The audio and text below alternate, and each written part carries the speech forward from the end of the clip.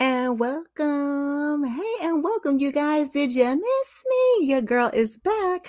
And before we get started, please do all the things at the bottom of the screen. Hit that like button, subscribe if you haven't already, comment down in the comment section, and share because sharing is indeed caring. Also, please make sure to turn your notifications on because sometimes life just be life. And also, the Cash App is there if you'd like to donate to the channel.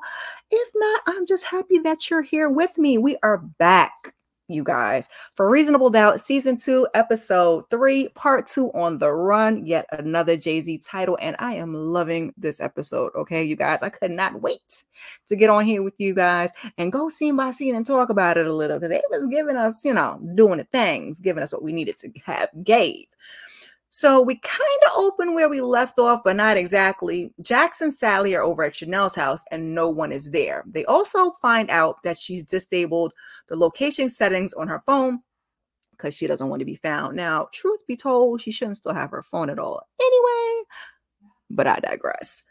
So Corey calls and checks in to see if Jax has found out anything, but she's still holding on to she may have hurt herself. Mm, I wasn't going with that one, Jax. So Corey asked Daniel if she's of her credit cards recently, but so far, it's a no. He says that they should have left her in jail, but Jax says this is why she didn't want her in jail because she's scared out of her mind. Again, agreeing with Corey with this one thus far. Had she still been locked up, she couldn't have ran. The prelim meeting is tomorrow at 1.30, so they'll need to work together, but they've got to come up with a plan. And you know, it's you know, alpha versus alpha. So we're bumping heads half the episode, y'all. Later, Jax is with Autumn and Sally at Sally's place, and they're trying to figure out where Shanelle could be. Did she say anything out of the way when she dropped off Jordan's bag? Like, did she say anything? And Sally's like, nah, not really. She kind of said she needed some time you know, to breathe and think.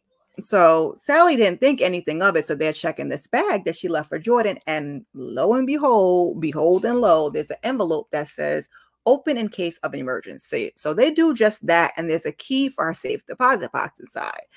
Now, Sally has access to it. So they need to get to the bank in the morning as soon as it opens. So the next scene, we see just that.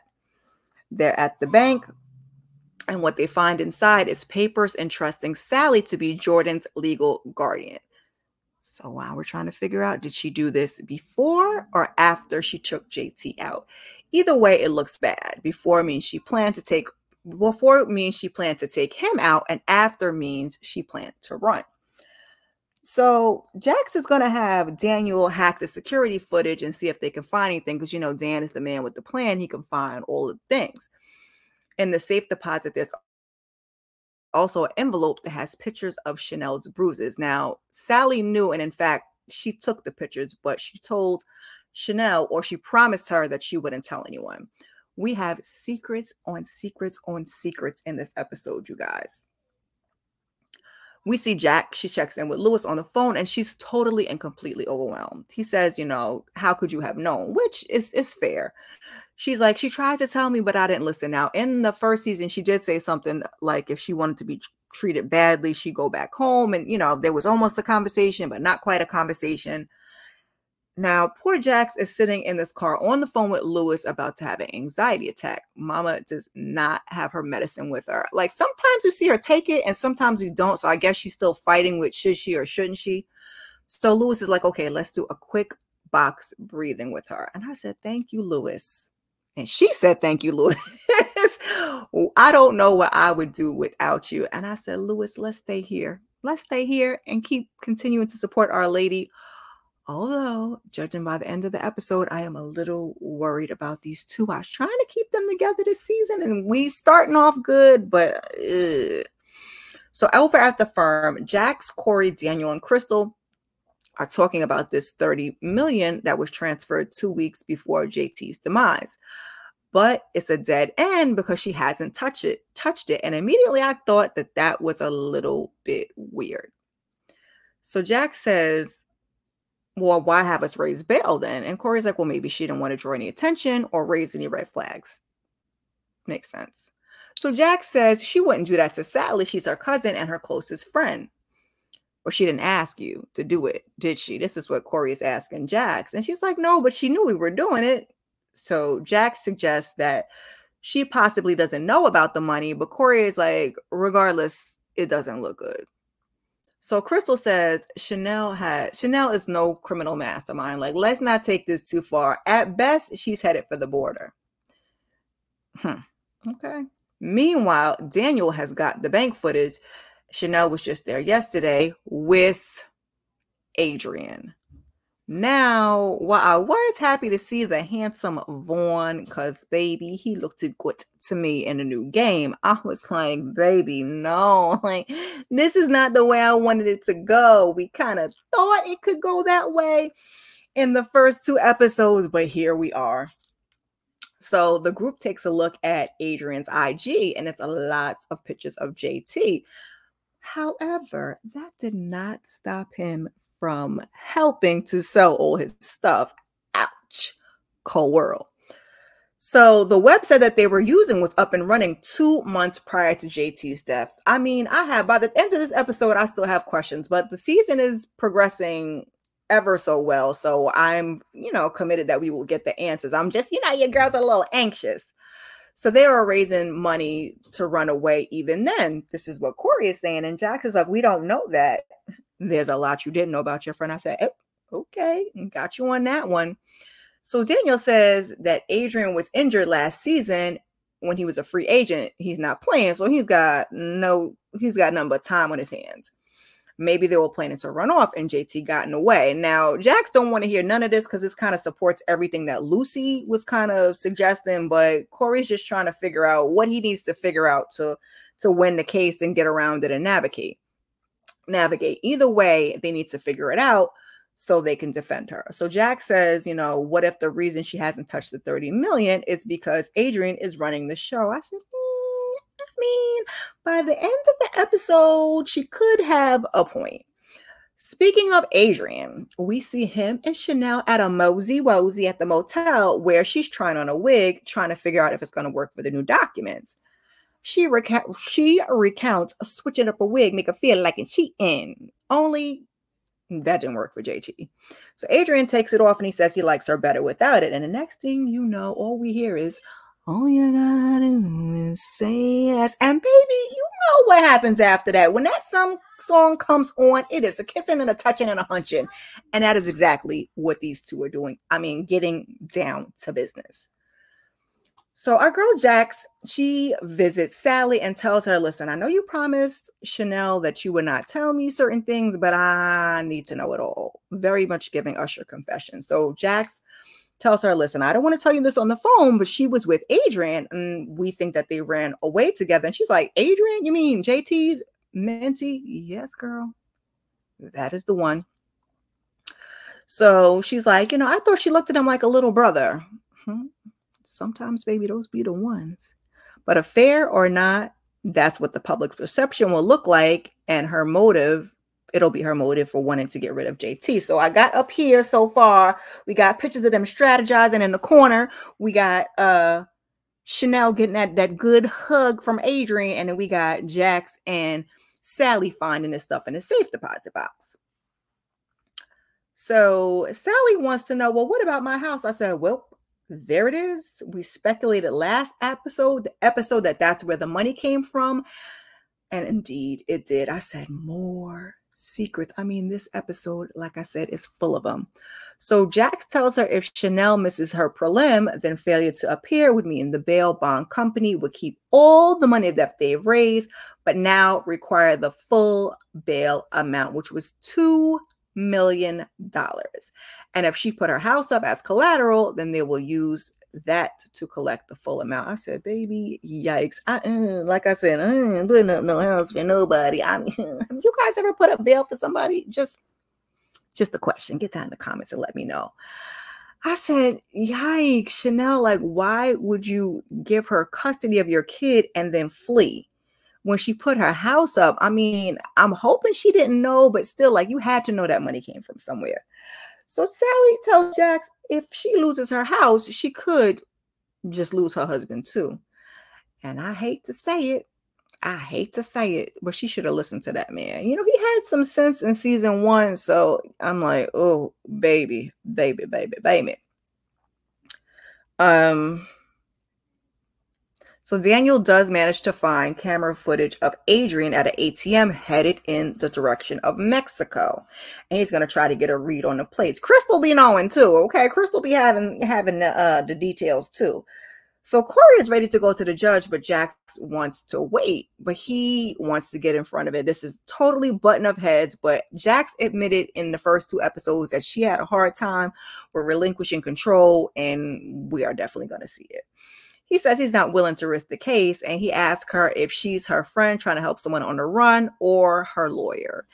And that's part of why Jax shouldn't have let Shanelle get to her later on in this episode. But when we get to the end, we're going to talk about it just a little. So Daniel at this point steps outside the room because he's like, y'all are going back and forth, and I am not here for it. And Jack starts to put the pictures of Shanelle with her bruises down on the table. This is a woman who's scared, and we have to help her. Oh, baby, we get it, Jax. We get it. So Corey says the pictures were smart and they can use them, and he can and will defend her, but she needs to let him do his job and alert the authorities. So she agrees, and we see them go to the judge. That's the scene we see up here in the middle. And Jax wants to hold off the warrant for the week, but Lucy, Lucy, you know Lucy, not Juicy, very much Lucy, says absolutely not. She could be sitting pretty in Mexico by then. Girl, you just don't know. She wants her to issue a, a bench warrant. So Jax asked for 24 hours. I mean, it's a lot of going back and forth, but that was the gist of it all because you know Lucy is not here for none of it. Back at the motel, Shanelle and Adrian are game planning, but she wants to know when she can call her kids. He says when she makes it to Mexico, they have to make it to Mexico first and then wait a few weeks. So she's like, you know, I don't think this is a good idea. She should have, you know, been in Mexico and they're a day behind. Mama really didn't think none of this through at all. Like they're waiting for passports when all of this should have been on the ready before she even left. And just in my opinion, you know, okay, I ain't never been in trouble with the law and I ain't never been trying to, you know, be on the run. But it's just, you know, sometimes if you exercise a little bit of common sense. So he apologizes for the holdup and she's like, you know, maybe I could have won the trial now she's going to be on the run living in Mexico by herself. Because he's like, that's not what you said last night. Yeah, probably not. So she's like, no friends, no family, no you. So she tells him she loves him. And he says all of the things. You know, she is beautiful, she is smart, she is kind. he loves her too. And he finally says he's coming with her. So she's like, she's in this position because of him. Um, no, he says she's in this position because of him. And I was like, hmm, what that mean? I have questions. I mean, I still believe, I know some are speculating that maybe perhaps um, Shanelle didn't do it. I'm of the mind that she did do it. I just have to figure out exactly what these two had going on other than sneaking around that's going to affect this case. So, hard ass Lucy gives a press statement that Shanelle didn't arrive for her prelim and appears she has fled and may be armed and dangerous. I said, Really, Lucy? Really? Meanwhile, God don't like ugly because after the statement, Lucy is getting calls with no answers. They're hanging up. So her assistant suggests a new number and a SIM. So when she pops on out, Lucy makes a phone call. Doot, doot, doot, doot. She calls Nevada Corrections and gets the status of a Peter Thompson child. At first, I thought they said Peter Thomas. I said, oh, no, not from Roja. if you know, you know. So they she finds out that he's still locked up. So she tells her assistant, listen, never mind, I don't need to do number new sim anymore. Sim anymore. I said, hmm. looks to me like Lucy just may have a JT of her own. Oh, and this is secret number what this episode? Like, I feel like because she's a single mom, she might have a domestic thing herself, and maybe she's a little burnt, bent out of shape because she didn't do nothing to hers, or maybe he did something to her. I don't know. That's just my speculation. You get down in the comments and let me know who you think she was checking up on. Do you think it could have been a bad past client? I feel like it's probably a little closer to home than that. So Jackson Corey talk over the case and he wants to center Shanelle as the victim. So he plans to go on IG Live with this lady named Brandy Michaels on her account because she's a domestic violence advocate and he's worked with her before. So these two can finally agree on something. So Corey walks out and walks Daniel with the partial plate. He's going to go talk to Cynthia, who was the lady that ghosted him.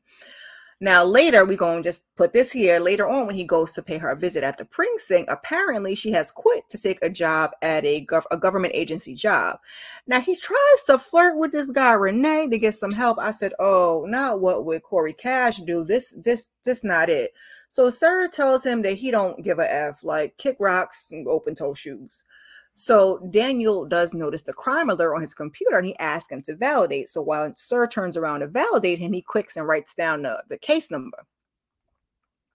So we see another scene. We get the LAPD comes to search Sally's home, and Sally's like, "We're looking for her too. Like, what would the incentive be?" Then she further goes on to say, "And then, and then she says she put her house up as part of the bill. Do you think I would let her run and risk losing my bond, baby?" Chris's face. Sally was absolutely wrong, absolutely wrong, and I feel like the house perhaps had to be in her name to do it but you did ask him, and you guys are a unit. So once he told you no, it should have just been no. But Sally hard headed, and I look, I hope she don't lose her husband behind it because I would hate to see it. Now, Mr. Lewis, he's busy working when Naima, Naima comes in and asks to take ask him to take her to her friend's house later. Mind you, she says later. He's like, I can't make any promises. I'm working about top on a Zoom. So now she gets a little huffy because she goes and checks social media. She's like, oh, they're together already. So Lewis is like, well, I guess you'll have to catch them at school tomorrow. Mind you, I guess you'll have to catch them at school tomorrow. That's what Lewis says to her. So she gets sassy at the mouth and walks up. Meanwhile, here comes Spencer talking about he got a headache and a fever. Now, Lewis can't find a Tylenol. So he's like, listen, get yourself some ginger, ginger ale and a cold washcloth, and I'm going to help you after this meeting. But before he can even get two seconds into the meeting, he interrupts him right away. I said, Sir, little boy, at your big age, you couldn't do what he asked you to do, or even go find a Tylenol yourself. I'm like, this, this, this a whole lot. These kids be trying it. They, they be trying it, but we're gonna get to the even more trying it. Because later on, Lewis is cooking dinner and there's a knock at the door. Now he thinks Miss Desiree is there for Jax, but no, she's there to pick up Naima. So she comes and he's like, Naima, he calls her in there. She's like, You said you couldn't take me, so our problem solved. Lewis is like, Listen, I'm sorry that you drove all this way and now she's on punishment. I said, Yes, yes, because absolutely not. Once I said you will see them at school, and you don't, I mean, at the very least, she could have said, Well, dad, you know, is it okay if I ask somebody else? Like I said, baby, these kids will try you. If that's what you wanted, ma'am, then that's what you should have said. You want to be all sassy in the mouth, and yes, closed mouth don't get fed, but ask. Don't go behind your back and try to pull strings. So Corey does the IG live, and he brings up a woman named Isabella Torres who's sitting in prison right now, and he makes a compelling speech about the system being broken. But we are going to hear this name again. So Adrian is at like a bodega, a little convenience store he hears them talking about Shanelle on, I think, the guy's phone or the TV or something. So the cashier recognizes him, asks for a selfie.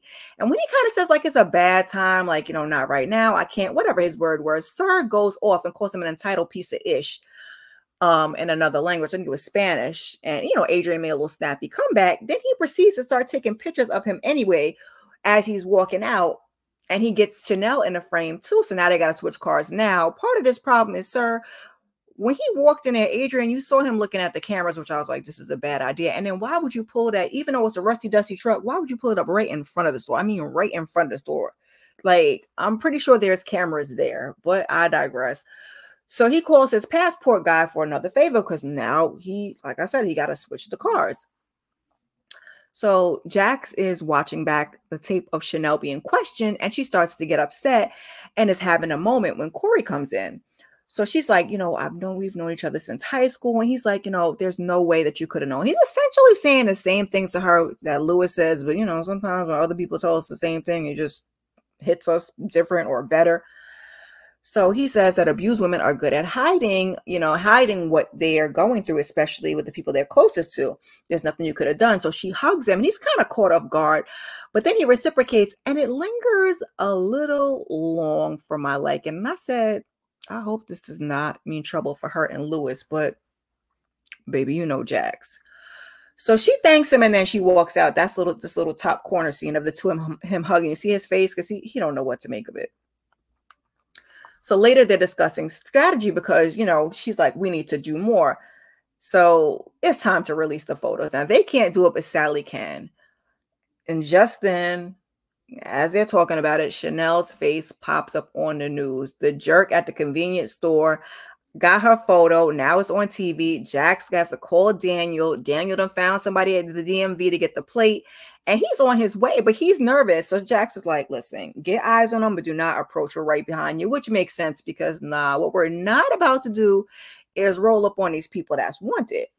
So Dallas, who is Adrian's connection, is smoking like he's on the side of the road in the car when a cop rolls up. So he's like, nah, he's not driving. He's about to get out the car. So now he steps out the car. He gets arrested because they have a warrant for failure to appear in court. Now he thought it was something else and it was this, but Shanelle and Adrian don't notice. They won't be standing around later waiting for him to bring this car. So Daniel tells Jax that the police are on their way because he hears it kind of on the, you know, the scanner. He's getting information. So she calls Lori and they, Lori, Corey, and they got to call Lucy. They want to bring her in, but Lucy is Lucying. So Jack starts, you know, get her speech together about the closer you get to the border.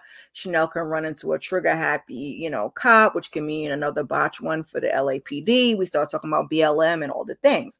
So Corey's like, listen, we all want the same thing, and that's for the, that's for it to play out in the courtroom. So she agrees eh, that he and can go first with a police escort, two cars. Jax says no sirens, and the cops stay behind them. Also, Shanelle's going to ride back with the officers. Sound cool, right? You heard what the ask was. Is she going to get the ask? Absolutely not.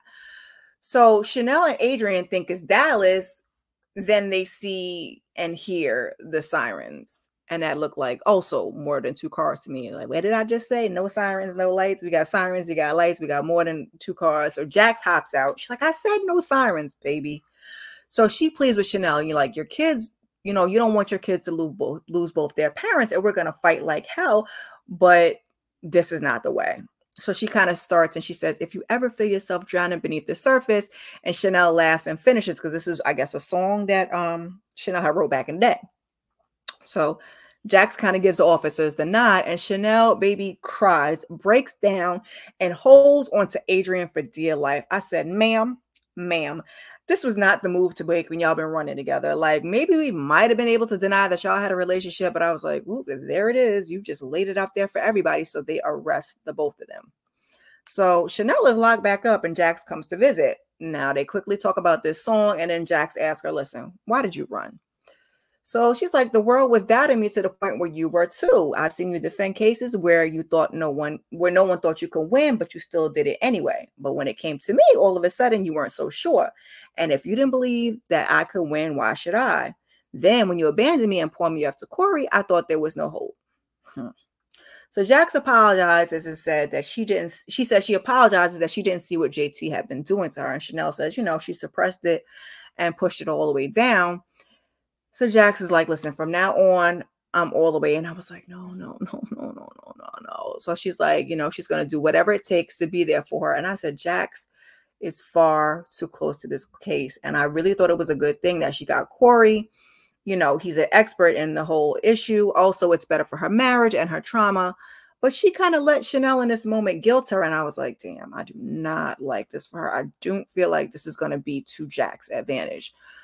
So late that night, at the firm, Jax goes to talk to Corey and says she wants to be involved now. She'd like to come on a second chair.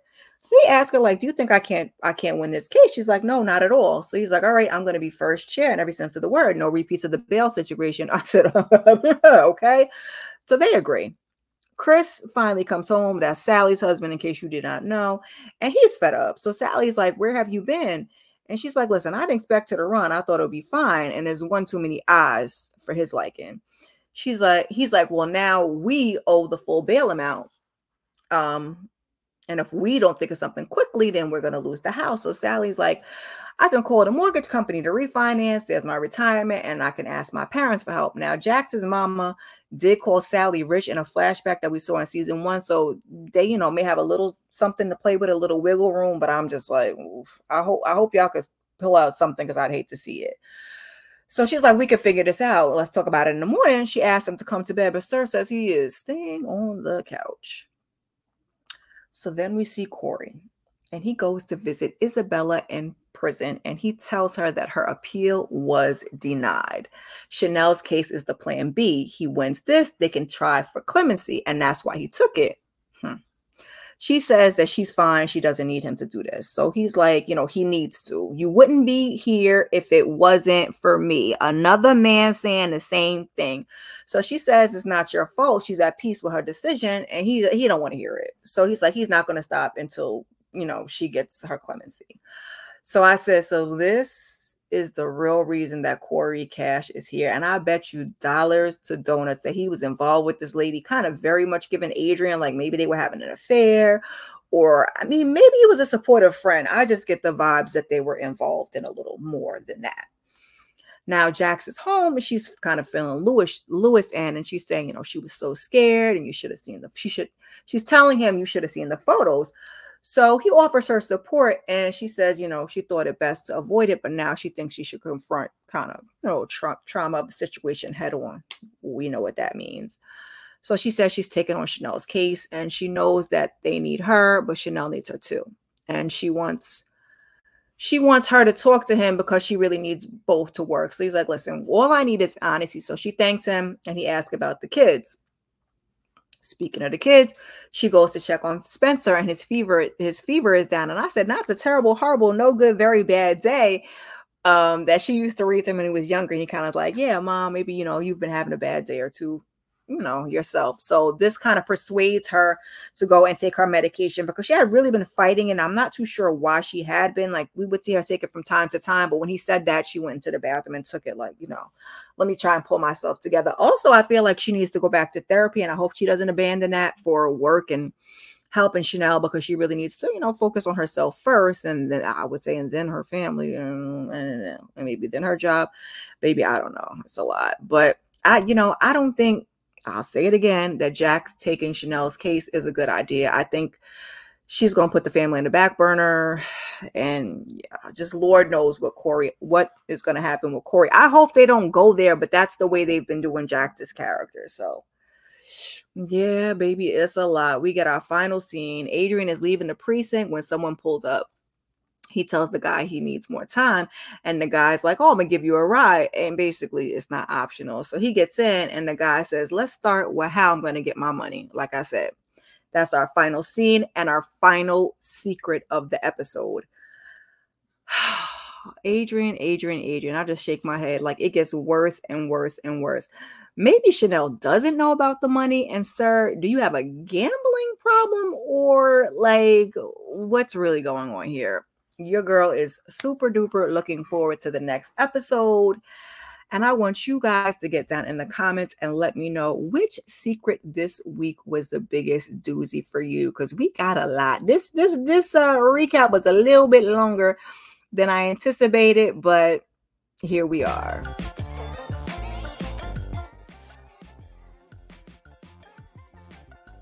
As we wrap up, I want to like comment, share, and subscribe. Let me know how you liked the episode. What was your favorite part? Like I said, what was the biggest doozy? Because we got secrets on secrets on secrets, and it was a lot for you, girl. Also, I know I haven't made it to 500 yet, but I'm still gonna, you know, put up this goal to a thousand by the end of the year. So help a sister out by sharing this where you share your videos. Also, be sure to check out my other content. Like I said, life has been life, and but your girl is at this point, I'm back to it and getting things up for you. So just keep your notifications on, check your community tab, and I will see you guys in the next one. Peace.